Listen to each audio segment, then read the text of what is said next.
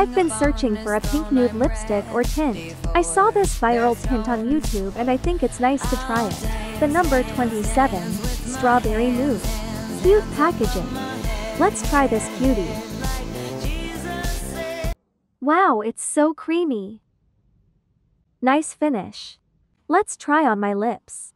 It's a nice color. I feel a little heavy on my lips. It doesn't completely transfer proof but it has a good lasting.